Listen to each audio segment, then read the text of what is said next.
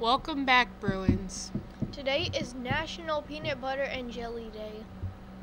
Our lunch options for today are nachos with meat and cheese, loaded baked potato, and a regular and spicy chicken sandwich.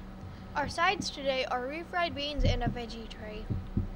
In national news, the Pacific Garbage Patch has now grown twice the size of Texas, making it weigh 88,000 tons.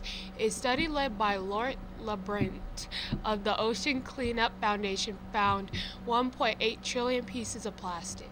According to the World Happiness Report that was released on March 14th, a couple of days before World Happiness Day, the winning country for being the most happy is Finland. Second is Norway, who was the winner last year. In other news, scientists found a mysterious skeleton in the Chile desert a couple of years ago. This attracted several scientists and UFOologists to study it. After a few years, it turns out it was a very young human female baby. Now to Martin and Dante with er, now to Martin with the sports and weather. Thank you, anchors. Sports teams. We'll be practicing today from 4 to 6. March Madness comes to an end tonight when Michigan goes against Villanova. Go Blue.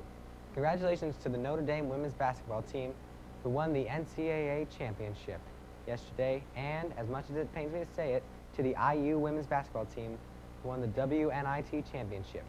Now for the weather. It'll be partly cloudy today with a high temperature of 47 degrees with no chance of precipitation and 74% humidity. There's a track and field parent meeting tonight after practice in the cafeteria. Now back to our anchors.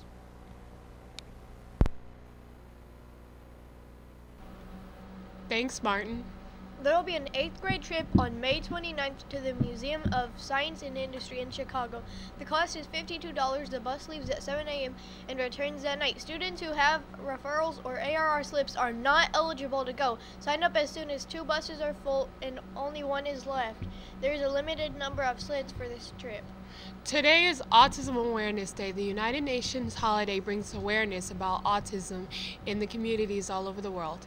People work together to help with research treatments for individuals with autism.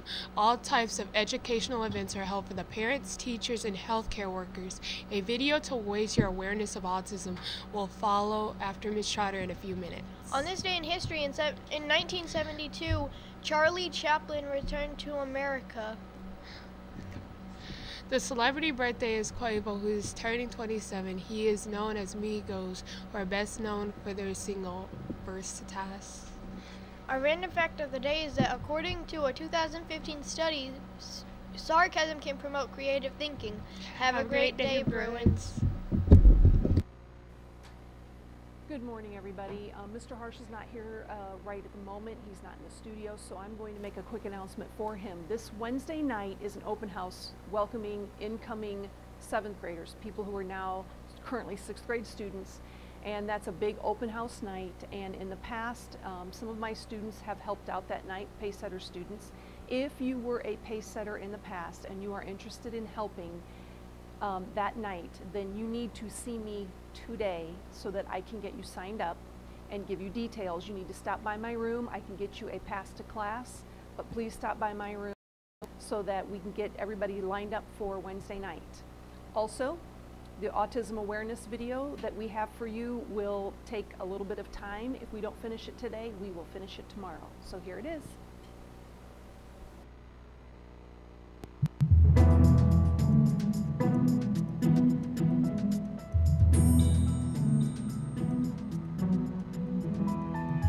We are responsible for our own emotions and actions.